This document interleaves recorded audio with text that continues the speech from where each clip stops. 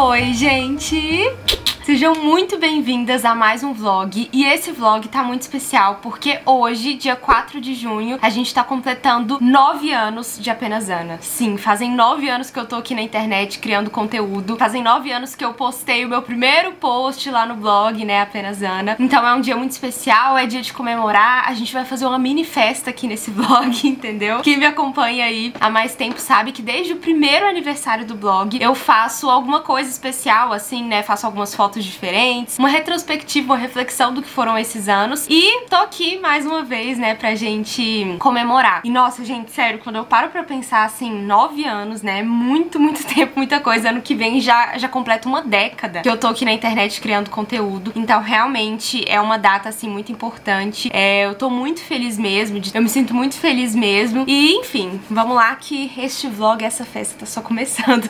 Bom, como vocês viram aí, eu tava fazendo um bolo, comecei a fazer um um bolo, ele tá ali assando. E agora eu vou começar a me maquiar. Todo ano eu, eu preparo um bolo, assim. Só que na maioria das vezes eu compro o bolo pronto. Eu acho que eu nunca fiz um bolo. De verdade, assim, olhando as fotos de todos os outros anos, eu acho que todos eu comprei eles prontos. É, eu tô vendo aqui. E aí nesse ano eu me encomendar, só que eu falei, não, quer saber? Eu vou tentar eu mesma fazer um bolo. Pode ser que dê tudo errado e as fotos não deem certo? Sim, pode ser, mas o que importa é que eu vou tentar. Eu gosto muito de cozinhar e eu acho que há muita poesia assim por trás da culinária, sabe? Eu acho que quando a gente pega um alimento, mistura várias coisas ali, leva pro forno, né, ali pro fogo pra aquecer, enfim, tudo vai se transformando. E isso me lembra um pouco do que é o meu trabalho aqui na internet, né? Eu pego várias coisas, vou misturando ali de uma forma que fique saboroso, que dê certo, e isso pode levar um tempo, às vezes pode passar por um processo de ter que aquecer ou de ter que gelar, enfim. E depois, quando tá pronto, eu sirvo, né, pra vocês. Então isso é um pouco do meu trabalho aqui na internet. Quando a gente gente cozinha lembra bastante esse tipo de coisa, né? Cozinhar é um gesto de amor, é um gesto de entrega, de serviço, de doação. E é isso o meu trabalho aqui na internet. Eu tô aqui pra me doar, pra servir, pra ajudar vocês de alguma forma, pra alimentar vocês com conteúdos, né? Então, nesse vlog, nesse vídeo, nesse aniversário, eu decidi fazer um bolo. Então, vamos ver se vai dar certo. Bom, então vou começar a me maquiar aqui agora. E eu postei uma caixinha de perguntas lá no meu Instagram. E eu pedi pra vocês mandarem perguntas especiais de aniversário. Sobre o Apenas Ana, sobre como tudo começou começou, os bastidores do meu trabalho, a minha carreira, enfim. Então realmente vai ser um vlog assim bem, bem festivo. Então já pega aí a sua pipoca, já pega um bolo, pega um brigadeiro e vamos lá. Qual foi o seu maior desafio na internet durante esses nove anos? Gente, eu vou tentar responder as perguntas rápido, senão o vídeo vai ficar imenso. E também porque já tem um vídeo aqui no canal em que eu conto toda a minha carreira, toda a minha trajetória até aqui. Então se você tem curiosidade de saber mesmo tudo, assim, todos os detalhes, né, do que me fez chegar até aqui, todos os detalhes da minha trajetória, é só você assistir esse vídeo depois, tá? Vou deixar o link aqui nos cards. Mas o meu maior desafio na internet durante esses nove anos... Então, até... Uh, peraí. Quase que vocês caíram. Então, até aqui tiveram vários desafios, né? Assim, quando eu olho pra trás, eu vejo quantos perrengues, quantas dificuldades, quantos momentos de desespero, de tristeza, de sofrimento, de cansaço. Quantos momentos, assim, eu já passei. Mas, querendo ou não, são coisas que fazem parte, né? Faz parte, então a gente aprende a lidar. O cansaço a gente aprende a descansar. Questão de perrengue com equipamento, a gente vai aprendendo a lidar. Mas, assim, se for parar pra pensar qual foi o maior desafio mesmo, eu acho que os meus maiores desafios até hoje, assim, como eu trabalho na internet, não foram essas coisas externas sabe? Esses perrengues e dificuldades e cansaços, enfim. Mas coisas internas, sabe? Tipo, conflitos internos mesmo, assim. De muitas vezes eu me questionar, será que é isso mesmo, sabe? Será que é esse o caminho? Será que isso aqui eu deveria estar tá fazendo desse jeito, sabe? Muitas vezes também eu não sabia dividir. Hoje eu já aprendi bastante, mas em muitos momentos eu não soube dividir os momentos, né? Assim, ter um momento para descansar, ter um momento de lazer, de viver a vida off mesmo, sem ter câmera, sem ter foto, sabe? Sem ter que estar tá sempre o tempo todo criando conteúdo, porque antes para mim tudo era conteúdo. E com o tempo eu fui aprendendo que, Ana Lídia, pera, às vezes você pode sim, você deve, né, ter um momento de só pintar um aquarela e não precisar mostrar nada para ninguém, sabe? Ou de só ficar com a sua família e não precisar estar tá mostrando nada. Com o tempo eu fui aprendendo muito a lidar, então acho que os meus maiores desafios, assim, foram conflitos internos mesmo, sabe? Por isso que eu, o fato de eu estar tá me conhecendo, estar tá buscando amadurecer, me ajudou demais em relação ao meu trabalho. Ana, quando você começou, tinha seus materiais profissionais para gravar vídeo? Não, não mesmo. Quem acompanha aí desde o começo sabe que os meus equipamentos eu fui conquistando aos poucos. Quando eu comecei, eu não tinha nada assim dos equipamentos que eu tenho hoje. Muitas vezes eu gravava do celular, gravava de uma câmera que ela não dava para ver se tava gravando mesmo. Então já aconteceu várias vezes de eu gravar vídeo, ela parar de gravar, eu não,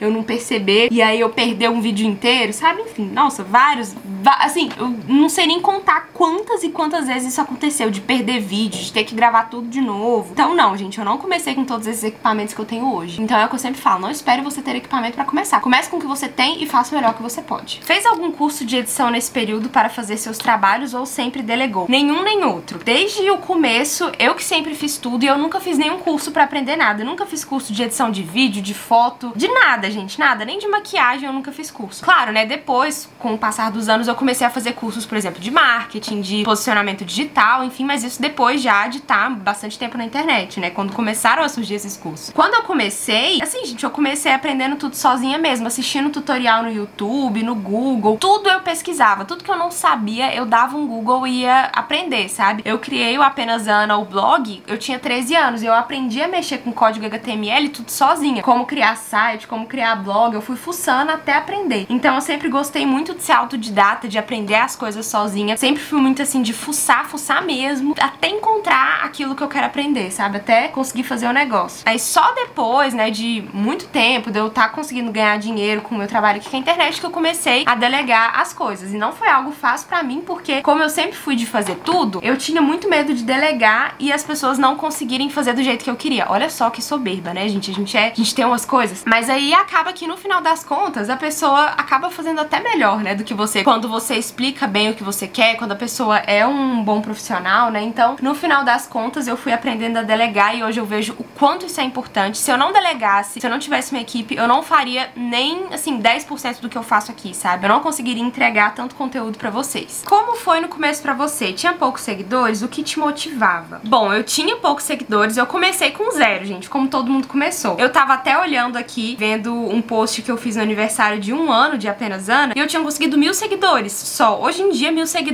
as pessoas acham muito pouco, né? Mas pra época, ainda era pouco. Mas assim, eu lembro que eu fiquei muito feliz, sabe? Eu ficava muito, muito feliz, porque eu sempre olhei pros meus seguidores, pra vocês que estão aqui, como pessoas mesmo, sabe? Eu sempre tive muito isso na minha cabeça, de que não são só números, são pessoas. Poxa, uma pessoa se inscreveu no meu canal, uma pessoa se inscreveu é, no meu blog, né? Na época tinha... você se inscrevia nos blogs lá e tal. É, uma pessoa me seguiu no Instagram, então é uma pessoa que tá interessada no meu conteúdo. Então eu vou valorizar essa pessoa, né? Então desde o começo eu lembro que eu valorizava muito, assim, os poucos seguidores que eu tinha. Dava atenção, eu gostava de responder, de conhecer os blogs da, dos, das minhas seguidoras, caso elas tivessem também. E aí a gente acabava se tornando amiga, assim, gerava uma... como se fosse uma amizade mesmo, né? Assim, uma ia conhecendo o blog da outra, então era algo bem legal, assim, do começo e eu sempre gostei muito de valorizar os poucos seguidores. E o que me motivava? Desde o começo, o lema do Apenas Ana é espalhar coisas boas por aí. Isso sempre foi o que me motivou, né? Saber que eu posso ajudar as pessoas de alguma forma com as minhas experiências, né? Assim, com aquilo que eu vivi, com aquilo que eu aprendi um dia, sempre foi algo que me motivou demais. Então, desde o início, Apenas Ana foi isso, né? Assim, eu poder ajudar outras pessoas com os meus conteúdos de beleza, de comportamento. Eu gostava muito de escrever textos, de fazer fotos, como é hoje, né? E quando eu via, né, em algum comentário, um comentário que fosse, a pessoa falando, nossa, Ana, esse post me ajudou por causa disso, disso, disso e daquilo. Então, nossa, você me ajudou a ver tal situação de outra forma. Isso me motivava a continuar, isso me motivava a seguir em frente. E é a mesma coisa hoje em dia, né? Eu tô aqui pra servir, né? Como eu falei com o bolo, né? A gente faz o bolo e oferece, entrega. Eu tô aqui pra isso, né? Se fosse só pra mim, se fosse só pra alimentar o meu próprio ego, gente, eu já teria desistido há muito tempo. Mas quando eu vejo que, mesmo assim, com a minha pequenez, mesmo com a minha miséria, eu consigo ajudar vocês de alguma forma, isso já me deixa muito feliz e me faz seguir em frente. Então isso era o que me motivava e é o que me motiva até hoje. O que você acha que mais mudou desde o início do seu canal? E parabéns, te acompanho há 5 anos, não te largo mais. Muito obrigada. E eu quero agradecer, né, pelo carinho de vocês nessa caixinha. Tem muitas mensagens aqui muito fofas, então muito, muito obrigada mesmo. E o que eu acho que mais mudou nesse tempo todo foi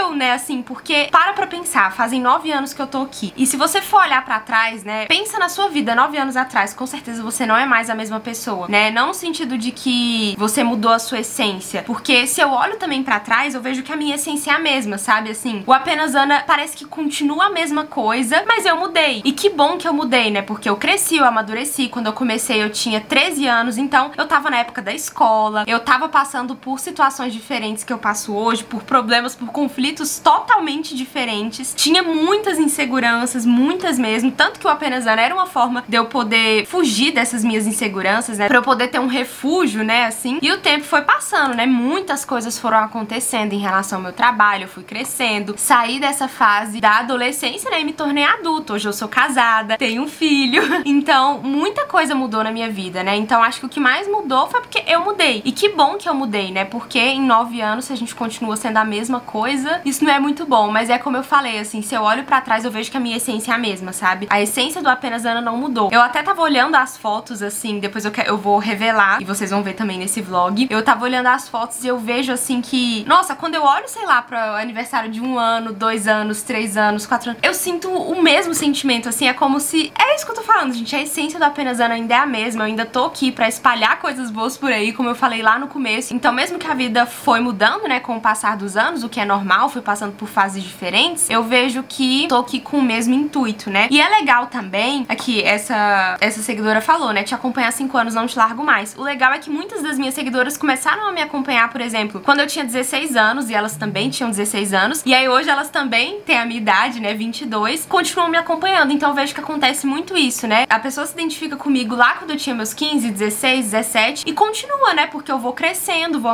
vou mudando, vou passando por fases diferentes, e essa pessoa, essa seguidora também, então ela continua se identificando, ela continua aqui. Então eu vejo que no Apenas Ana tem muito disso, né? Muitas seguidoras aí das antigas, novinhas também quando eu comecei, que agora já estão com a mesma idade que eu, passando por fases parecidas, que as que eu, parecidas com as que eu tô passando, sabe? Isso é muito legal. Quantos anos você tinha quando começou? Você tinha medo de ninguém te levar a sério? Sim e não. Sim e não. Tinha medo, mas não tinha. Ó, eu tinha 13 anos, né, quando eu comecei. E assim, eu tinha muitas inseguranças nessa época, né? Quem sabe aí de toda a minha história, eu ainda tinha o cabelo alisado, eu era muito, muito insegura, minha autoestima era muito baixa. É, eu era completamente insegura. Mas ao mesmo tempo, eu tinha algo dentro de mim que era meio que assim, eu queria superar a expectativa das pessoas, sabe? Com o tempo eu aprendi que isso nem é tão bom assim, porque se eu fico querendo sempre buscar os elogios, buscar superar a expectativa dos outros, uma hora eu não vou conseguir. E aí eu vou me frustrar, porque vão vir as críticas, vão vir os haters, vão vir, né, enfim. E aí o meu mundo vai desmoronar se eu tiver muito apegada só aos elogios, mas enfim. Mas aí eu lembro que eu gostava muito disso, assim, de... Isso me motivava, sabe? Quando eu via que eu superava a expectativa das pessoas, tipo, nossa, ela é tão nova e ela já faz tal coisa. Então eu experimentava de tudo um pouco, assim, tinha esses dois extremos, né? Pessoas que não me levavam a sério, né? Por eu ser nova ou por eu ainda não ter crescido,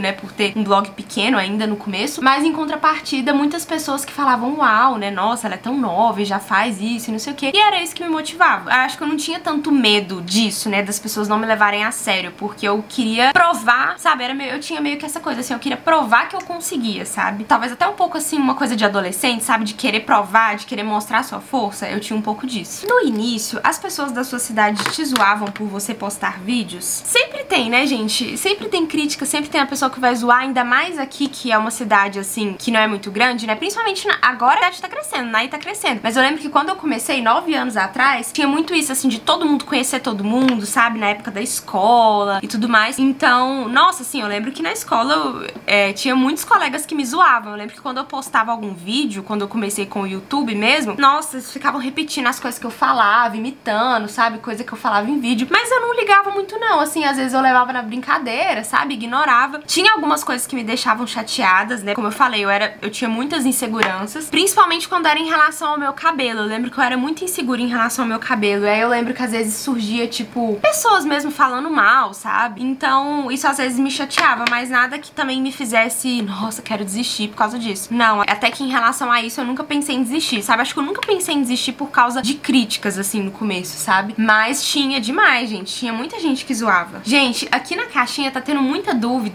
em relação ao meu trabalho de pessoas que querem trabalhar com a internet, querem trabalhar com o Instagram, ganhar dinheiro com o Instagram, crescer, enfim. E o que eu quero dizer pra vocês é que, pra comemorar os nove anos de apenas Ana, né, a gente vai reabrir, assim, é uma reabertura relâmpago. Hoje, só nessas 24 horas, né, durante todo esse dia, a gente tá reabrindo as vagas pro curso Instagram de personalidade. A gente reabriu, não tem nenhum mês aí, né, e já fechou e não tem previsão pra reabrir novamente. Então, se você perdeu, né, se você não conseguiu comprar dessa última vez, ou se você tá conhecendo o Instagram de personalidade agora e quer adquirir, corre. Hoje, assim, é uma oportunidade única. A gente vai deixar o link aqui embaixo. Pra quem não sabe o que é Instagram de personalidade, é um curso que eu lancei sobre tudo que você precisa saber sobre Instagram. Como ganhar dinheiro, como aumentar o engajamento, como montar um feed bonito, harmônico, como editar suas próprias fotos, enfim, são mais de 10 aulas, mais de 10 horas de conteúdo por um preço, assim, que você não encontra por aí. É o melhor custo-benefício que você vai encontrar por aí. Vou deixar o link aqui embaixo, então aproveita. Aproveitem que é só hoje aí, é um bônus de aniversário pra vocês. você é formada? Se sim, qual faculdade você fez? Se não, qual você gostaria de ter feito? Não, não sou formada em curso superior, né? Nunca fiz nenhuma faculdade. E muita gente me pergunta em relação a isso. Vamos lá. Quando eu saí do ensino médio, né? Quando eu terminei é, a escola, quando eu terminei o ensino médio, o Apenas Ana já era minha empresa. Eu já trabalhava, já tinha minha renda. Já era algo muito sério mesmo, sabe? Que tomava muito meu tempo, assim. Era algo como é hoje mesmo, né? Assim, já era algo grandioso. Então meio que já tava louca pra terminar a escola, pra terminar o ensino médio, pra conseguir me dedicar mais ao Apenas Ana, né? Já era algo muito grande e sério mesmo. Eu não tinha pretensão de fazer nenhuma faculdade, não tinha o desejo de fazer, porque eu não via a necessidade. Então eu comecei, né? Na verdade eu já estudava, mas eu comecei a estudar ainda mais sobre o meu trabalho aqui na internet, sobre mídias sociais, sobre posicionamento digital, sobre Instagram, sobre YouTube. Então eu comecei a fazer vários cursos, não cursos superiores, né? Mas cursos mesmo relacionados a isso. E, gente, vocês não têm noção. Isso é algo que me fez crescer muito e que me ajudou muito, sabe? Esses cursos que eu fui fazendo ao longo do tempo e que eu gosto de fazer até hoje. Então, se eu gostaria de ter feito alguma faculdade, se eu pretendo fazer, é não. E é aquela frase, eu sou eu e a minha circunstância. A minha circunstância foi essa, né? Quando eu saí do ensino médio, já tava tudo encaminhado, assim, não, realmente não, não era minha pretensão, não tinha, eh, sabe, assim, se eu fizesse faculdade só pra ter um diploma, só pra, sei lá, só pra ter, não iria fazer sentido, eu não conseguiria desempenhar bem nenhuma coisa nem outra, e de fato não era algo que eu queria, não era algo que iria mudar o meu trabalho, que iria, sabe, não fez diferença pra mim, mas essa foi a minha circunstância, esse era o meu desejo, essa era a minha realidade, e cada pessoa passa por uma situação diferente, né? Então, cada um com a sua circunstância.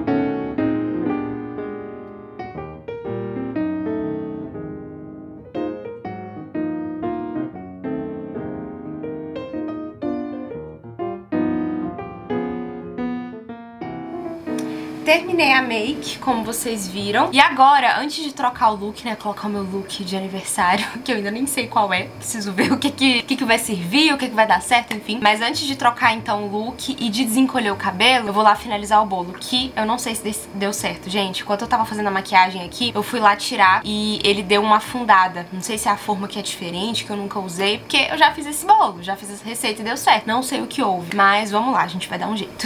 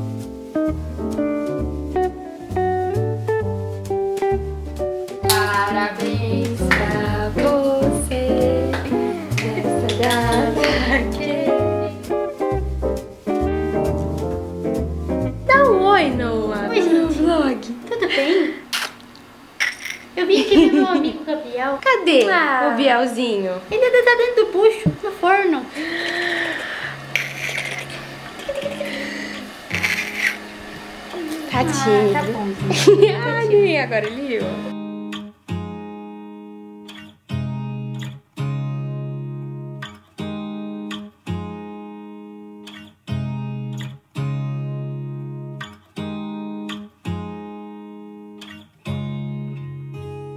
Vamos ensaiando. A corrida para escovar os dentes já começou. Quem vai ganhar? Oba! Agora é hora da história. Qual é o seu livro favorito? Um livro. Cadê o nome? Nasce uma Dá um sorrisão. Aceitam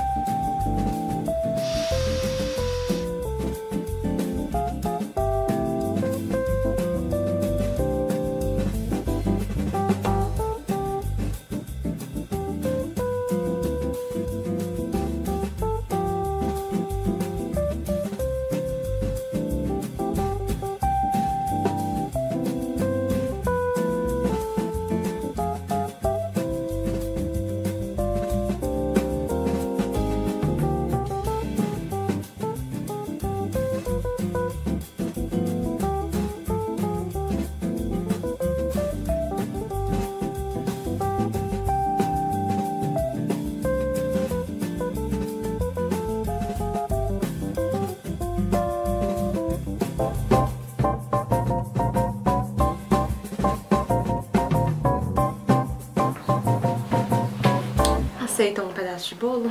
Gente, ontem, depois daquela hora que eu fui tirar as fotos com os balões aqui, eu nem falei mais nada, nem filmei muita coisa pra vocês, porque já tava tarde, eu já tava bem cansada, então eu só terminei de fazer algumas fotos aqui e fui me preparar pra dormir, né? Depois fui jantar, depois a gente foi dormir. Então, acabou que eu nem falei mais nada ontem, mas tô aqui, ó, comendo o bolo de aniversário. O bolo de aniversário é sempre mais gostoso no outro dia, né? Porque ele fica bem geladinho. Gente, deu certo, viu, esse bolo. Podem pegar aí a receita. Ontem eu tava respondendo algumas perguntas, né? E acabou que eu não respondi tantas assim. Tiveram umas outras que eu selecionei aqui bem legais. Eu vou aproveitar aqui enquanto eu tô comendo o bolo pra responder alguma dessas perguntas. Vamos lá. Qual foi o momento de maior realização da sua carreira até agora? Quando eu li essa pergunta, eu fiquei pensando assim. E claro, gente, aconteceram várias coisas muito marcantes, né, nesses nove anos. Muitos trabalhos, muitas conquistas, projetos, várias coisas que foram acontecendo que eu jamais imaginei, assim. Mas quando eu vejo tudo, né, que aconteceu nesses nove anos, o que mais me marca mesmo, o que eu mais sinto que é a maior realização é ver a mudança na vida de vocês, sabe? Quando eu iniciei o projeto Voltando aos Cachos, e até mesmo desde o início lá da Apenas Ana, né, quando postava os, os conteúdos, enfim, é ver a mudança na vida de vocês, sabe? Ver que aquilo que eu posto, que eu trago aqui, muda de fato a vida de vocês. No ano passado, né, quando eu comecei a série Autoestima, enfim, assim, ver mesmo os frutos na vida de vocês, eu acho que é a minha maior realização e é o que me faz continuar, porque é muito doido, né, assim, que a minha vida vai mudando e aí eu vou passando os conteúdos pra vocês, a vida de vocês vai mudando, vocês vão se tornando a melhor versão de vocês, vocês vão crescendo, amadurecendo, elevando a autoestima, se conhecendo, aprendendo a se cuidar, a cuidar do cabelo, fazer maquiagem, e vocês vão influenciando outras pessoas também, sabe? Então, quantas pessoas já não foram tocadas por uma sementinha que é o meu trabalho, né? Então, vocês também tocam outras vidas, vocês também vão transformando outras vidas e isso realmente é a maior realização, não tem como. Quando você sentiu a necessidade de ter uma equipe e delegar as funções? Bom, foi numa época que eu comecei a realmente ver que, que não tava dando mais, assim, que eu tava explodindo, sabe? Eu tava no meu limite, tanto que eu comecei a ter ansiedade, enfim, eu compartilho um pouquinho mais sobre isso no vídeo em que eu conto toda a minha história, toda a minha trajetória, que eu vou deixar aí nos cards. Mas foi realmente no momento que eu vi, assim, que eu tava fazendo muita coisa, que eu não dava conta, né? Então, foi aí que eu comecei a delegar. Primeiro eu contratei um editor de vídeo, depois, com o passar do tempo, a minha irmã começou a trabalhar comigo. Comigo. Enfim, hoje em dia a equipe é grande, tem muita gente, né, trabalhando comigo. Eu sou realmente muito feliz, muito grata. Tem um vídeo aqui no canal da equipe se apresentando que foi no aniversário do ano passado, inclusive. Já dava pra fazer um update, porque já tem pessoas novas, então quem sabe eu posso trazer um outro vídeo aqui no canal depois contando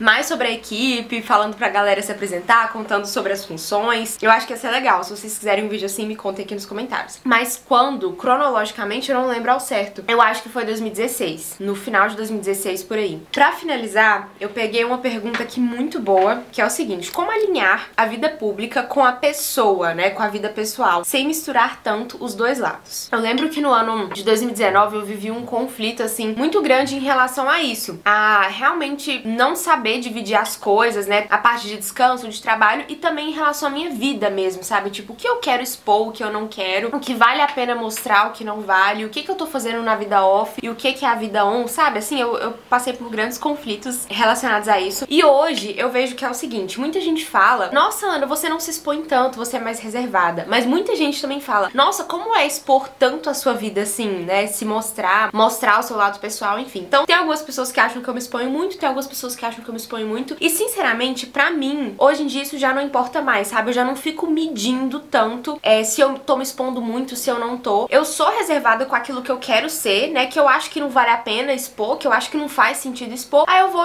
e, sou mais reservada. Mas eu vejo que tem algumas coisas da minha vida que valem a pena ser mostradas pra poder ajudar vocês também de alguma forma. Então, muitas vezes é preciso a gente deixar um pouco do nosso medo de lado, o medo muitas vezes de ser criticada, de ser julgada, um medo de manchar a nossa reputação, de, sei lá, das pessoas não nos entenderem, enfim. Muitas vezes eu preciso deixar de lado esses meus medos e me desapegar um pouco de mim mesma, sabe? Me desapegar pra poder ajudar outras pessoas, entende? Pra poder me doar mesmo, assim, entender que a minha vida ela é doação, é entrega, é serviço. Então, claro, vai ter coisas que eu vou mostrar, mas vai ter coisas que eu realmente vou ser mais reservada e eu exponho aquilo que eu acho que vai fazer sentido, assim, que vai ajudar vocês de alguma forma. Se for expor só pra expor, só pra mostrar, ou só pra ganhar likes, ou só pra, pra ter visualizações, pra mim não vale a pena, sabe? Eu não me exponho. E vou me desapegando dos meus medos e inseguranças. O limite pra eu me expor não é tanto, tipo, nossa, será que eu tô me expondo muito ou tô me expondo pouco? O meu limite é, eu tô ajudando, de fato, isso faz sentido ser exposto, isso pode ajudar outras pessoas, pode influenciar pra, pro bem ou não. E aí essa questão de alinhar a vida pública com a pessoa, pra mim, é, não tem diferença, né? Essa daqui sou eu. O que eu exponho sou eu. Então não tem um personagem, não tem. Não tem como, né? Sou eu, é a minha pessoa, é a minha personalidade. Mas eu vou escolhendo aquilo, né? Vendo aquilo que vai ter frutos se eu mostrar, se eu expor. Então, é aquilo que a gente sempre fala, né? A nossa vida aqui na internet não é 100% da nossa vida, mas continua sendo a nossa vida, né? Não é um personagem, não é outra coisa. É a nossa vida, só não é 100% porque também é impossível, né, gente? Seria impossível compartilhar tudo do que nós somos aqui numa tela né?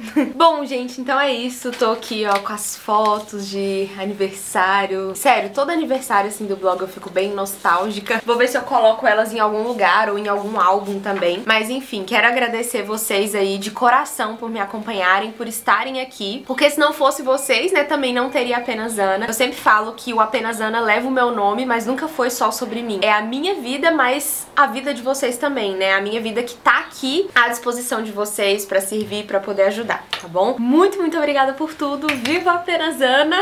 E é isso, um beijo, fiquem com Deus e até a próxima. Tchau!